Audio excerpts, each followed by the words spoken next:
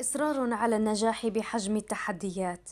مبدأ ترسخ في نفسية الطفل الحارث برغم وجع الحرب ومآسيها على الطفولة. فثمة قذيفة حوثية بترت يداه اليمنى وجعلته في عداد المعاقين جسديا. لكنها لم تعق طموحه وأحلامه التي يروض يده الشمالية لانتزاعها من بين فكي سارقيها وقاتلي الطفولة. كنا نلعب أنا وأخوتي جنب الجدار. قال قذيفة وشذي يطرح بإيدي. وأسحبوا المستشفى ودوا لي علاج وكان اليد اليمين تألمني.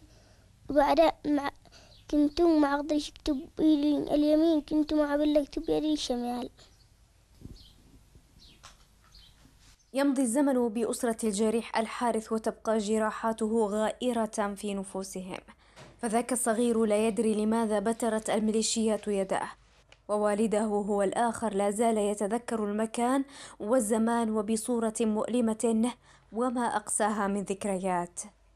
بحاجة إلى طرف صناعي كونه لديه كتابة يجد صعوبة في كتاب يده اليسرى عنده صعوبة في الأكل في آه، تسيير أموره الحياتية آه، نطالب الجهات المختصة المنظمات الإنسانية منظمات الطفولة بأمس الحاجة إلى طرف صناعي متحرك آه، إلى تأهيل كمان إلى أي شيء من هذا القبيل أو رعاية كونه من جرح الحرب ولا يوجد أي اهتمام أو رعاية.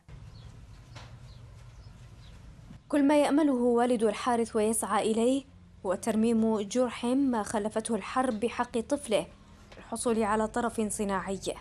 منظمات إنسانية أو مختصة بالطفولة وحكومة شرعية أو فاعلو خير. لا يهمه من يبادر بقدر زرع البسمة على وجه طفله الحزين. في منزل صارت الأسرة نازحة فيه ويا لهول مواجع الزمن وتقلباته.